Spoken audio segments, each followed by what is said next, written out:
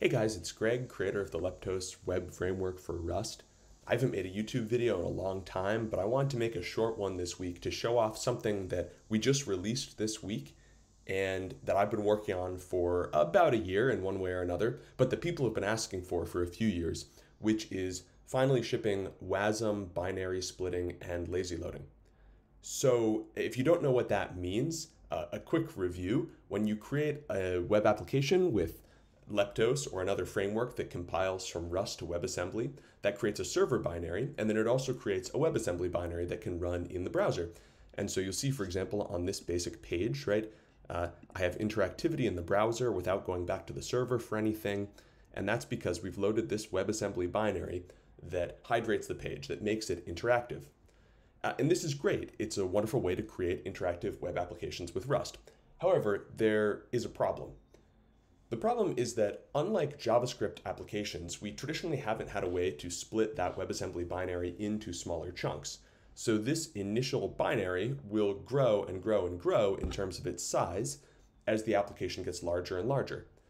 Now, because of the binary format, one kilobyte of WebAssembly is much cheaper for the browser to uh, parse and evaluate than one kilobyte of JavaScript, but there's still a problem that this is going to grow and grow over time as the application gets larger. So for example, this is just our, our basic starter application. It was 291 kilobytes, right? If I just add in a second page that's going to load some data,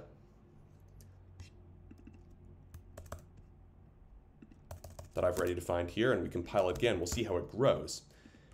And why is the binary size a problem? Well, when you load the page, before anything becomes interactive, that main WebAssembly bundle has to load. And so as that increases, the initial time to interactive on the page becomes longer and longer, which isn't great for user experience. And particularly for larger applications, the entire binary has to be loaded before any single page can be hydrated. So we've recompiled with our second page now, and it goes from 291 up to 429. And that's just adding another route with some data loading. So we want to find some way to split that apart, and that's exactly what we can do by binary splitting and lazy loading code. So I'm going to open up the application again, and we'll look at this second page. This is a pretty simple page. It creates one resource to load some data, shows a header, has a suspense to just show the, the data in its debug form. And if we go to this server function, I'm going to add in one of the new things we have here, which is the lazy macro. When you use that lazy macro along with cargo leptos serve dash dash split instead of not split, it's going to split the binary into multiple smaller binaries depending on where you use these lazy annotations. So let's go back here and we'll load here. And now I'm actually going to start throttling the network connection so you can see what happens when we navigate. The first thing you'll notice is that the binary size has gone back down again a bit to 413 kilobytes. The second thing you'll notice is there's another JavaScript file that says WASM split. We'll get to that. And now when I navigate to another page, like the second page, it's actually going to load an additional WebAssembly bundle. These 27 kilobytes that tell us how to call that server function. And you'll see first it loads that bundle, and then it actually calls the server function. So what's happened here is essentially that it's taken an async function, and it's just added an extra bit of asynchronicity, if you will, rather than immediately calling the function, it first lazy loads the WebAssembly binary that's needed to call that function and then calls the function. And this is pretty basic, but there's actually much more that we can do here. Um, for example, you notice when we navigate from this first page to the second page, well, it lazy loads the data, but it doesn't lazy load the view that we show for this page. But we actually can do that too. To lazy load the view for a new route, we don't just use the lazy macro. We're actually going to use a slightly different uh, new construct that's called a lazy route. So for the view here, instead of the traditional sort of view equals some function, some component, we're going to give it view equals lazy, and we'll say second page route new. Lazy is a new struct in Leptos router, and we'll have to define this second page route. This doesn't exist yet.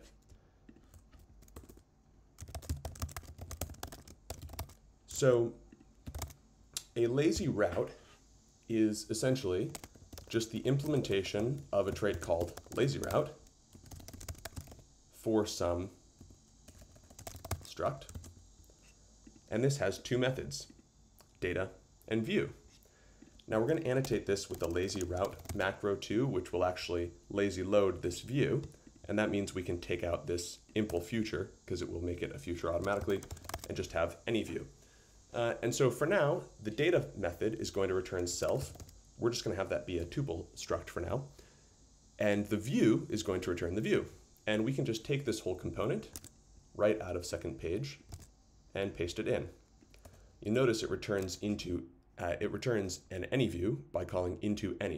And it does this because when we lazy load our routes, they need to be concrete types. They can't have impl into view in the return type here uh, when we're doing the lazy loading, just the way the code splitting works. So now if I compile this again,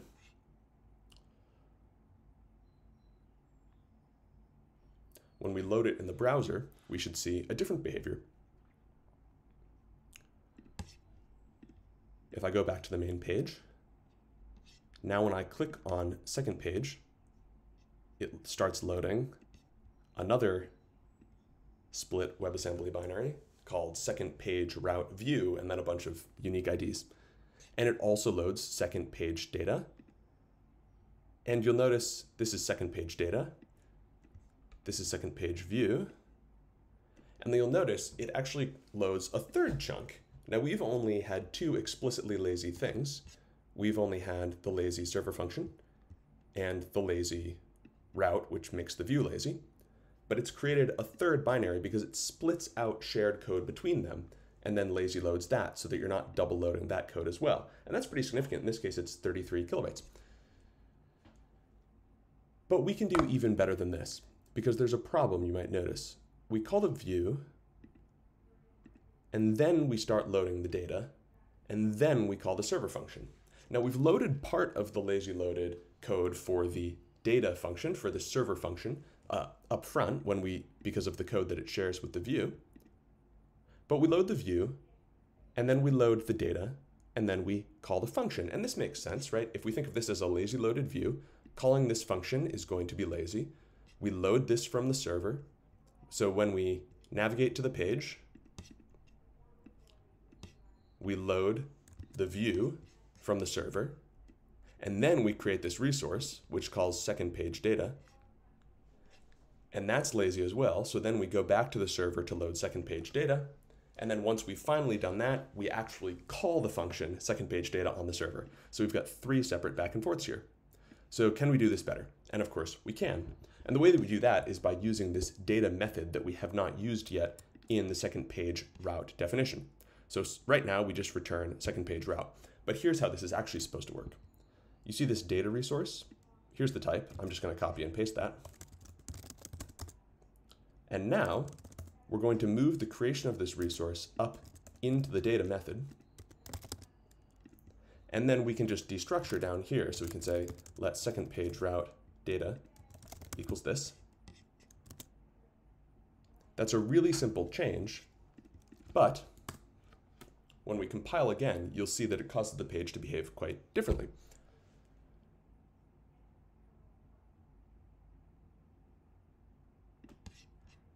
Now when we go to, back to this main page and we load it, and we click second page, let's clear this out first so we can see.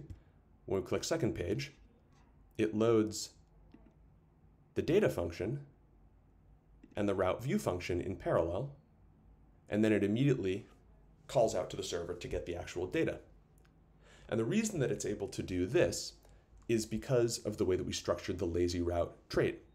So essentially, on navigation, when we go from the home page to the second page, when we use this lazy route like this, it's going to concurrently call the data function, which creates a resource, which starts loading second page data. And at the same time that it's calling the data function, it's going to start lazy loading the view. Now, second page data is also lazy, so that means that when we call the data function, it immediately begins lazy loading second page data and lazy loading our view. This means that these two can run concurrently, and then we can call the data here. Now, this was, what was this, 400 milliseconds or so with the fast 3G throttling, 4G throttling. I'm wondering if we can make it a little faster by actually doing something slightly different and that is removing the lazy annotation here on the server function. And I'll explain to you why that is. So we want to be able to start loading the data itself concurrently with loading the view in order to show the page immediately as soon as the view is loaded and as soon as the data is loaded. When we lazy load the second page data function, we have an extra step. We have to go to the server to get the additional WASM binary for the second page data before we call out again. But we can do something uh, a little clever here. And if we just take off the lazy annotation and we rebuild, which has happened, and I go back here, when we go to the second page, you'll notice it will immediately call the second page data uh, endpoint to get some data. And while it's loads at the same time that it's loading the lazy loaded view. And so now rather than lazy loading the server function and lazy loading the view concurrently, we're actually calling the server function and lazy loading the view concurrently. And if you notice how closely these overlap, first of all, we had 400 milliseconds before because we had 200 milliseconds where we were lazy, lazy loading the server function and then 200 milliseconds of calling the server function. Now our navigation time is just about 200 milliseconds. So actually by making that server function not lazy, we have made the load time when we navigate to the next page faster. And you'll also notice we're really not paying almost any cost for the lazy loading of the view here, because in order to navigate to this page, we have to load the data anyway. So we're really only spending, in this particular case, well, an extra 25 milliseconds waiting for the view to load. That's really not too bad. So the, the idea of concurrently loading the data and the view here is that you essentially pay for the cost of lazy loading the view because you have to load the data anyway in order to navigate. Now there is a caveat here. You'll notice if we refresh this page, the main bundle without the uh, lazy loaded server function is 422. If we put this back in, let's see what the main bundle is when we are lazy loading the server function.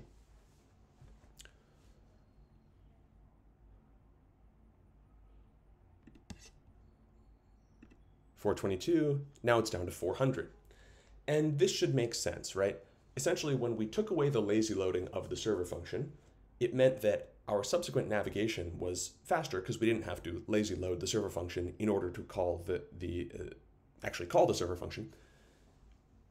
But when we don't lazy load the server function, it means we have to load that initially. So these are all trade-offs, and that's why we do things like the manual macros here rather than trying to guess. It gives you the control over where you want to split out different parts of your view. If you have a very expensive uh, view that's very large or that includes lots of complex logic in it and you want to lazy load that, you can do that for just one route and leave the rest of it in your main bundle. If you have a server function that you know is going to take a long time to run and you just want to lazy load the WebAssembly binary because it's not that much relative to the cost of the actual API call, you know, you can make that decision. But these are all trade-offs that you can actually make. And we just give you the power with these two very simple concepts with the lazy macro, which you can use not only on a server function, but on any function in order to split it out. And then with this lazy route concept with the data and the view split from one another. So if you want to get started with this, uh, it's really simple. I mean, what I would say would be to take pages like this second page route which right previously it was a component that looked like this. It had let data equals some resource. Take some components that are a whole page that look like this and restructure them. Pull out the resources into a data method, keep the view in the view method, implement this lazy route trait, splitting up those two, and see where it takes you.